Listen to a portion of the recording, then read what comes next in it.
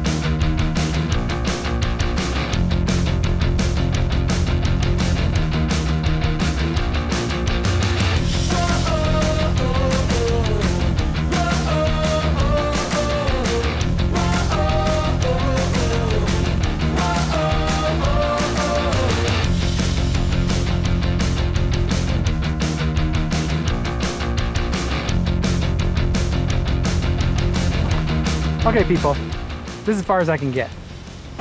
I hiked up to a fence, and yeah, I could go through the fence. Looking at this peak out here, right? Out here on the side of this uh, peak, this is, uh, I think, Black Mountain. There's the B. Out here on the side of this peak is where it looked like the object in the Utah UFO video originated from. But if I go any further, I go down and I don't have time to make it into the uh, ravine there and get, uh, or in the canyon and get to that area to see what's there. What I can tell you is there's a lot of, uh, there's a lot of bugs out here. You see the butterflies, of course. There are a lot of things in the air here. I'm not saying that that's what it was that we were looking at in our video, but um, from what I'm seeing as we as we hike through this territory, uh, you know, there's a lot of possibilities. Horseflies out here, uh, obviously rattlesnakes, which are trying to avoid because it is a wild, natural place. You know, there's a lot of stuff in the air. Changing elevations. There's a great breeze right now. I don't know if you can tell trees. I really think it's possible that the uh, the Utah video was something that was in the air. And don't have a way to prove that, of course, but uh, I'm glad I came out here to take a look at it myself. Oh, I don't know if I oriented you correctly, but down this way, see the power lines. Uh, to you, they probably look really far away now because they are far away, and this is a GoPro. So they probably look really far away, but just the other side of those power lines is actually where the drone was. Uh, you might remember the power line uh, pole that's in the, the video. I actually measured one of the poles um, the shadow of the pole, that is. Uh, I'll give you that measurement uh, after I've had time to do the math. Measured the shadow and the time of day. We're at 12.30. So anyway, it's a lot of fun. And uh, I hope this was somewhat interesting to you. It certainly is for me. Part of our adventure and uh, we'll let you know if we find anything else out. So for now, for Propellerhead, signing off. See ya. All right, so there you go. Not too much to go on scientifically, just a fun look at the place. And uh, I had a lot of fun going there. It's a beautiful place. So anyway, uh, look for more from us on Propellerhead. We have another episode coming and some exciting news about a new platform we're launching. All right, thanks a bunch and we'll catch you soon.